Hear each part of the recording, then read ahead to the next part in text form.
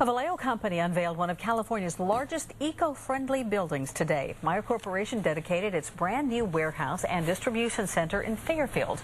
Builders made extensive use of recycled materials in the construction of the automated facility.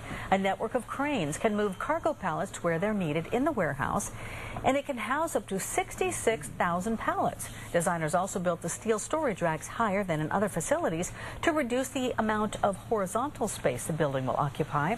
Meyer sells kitchen products.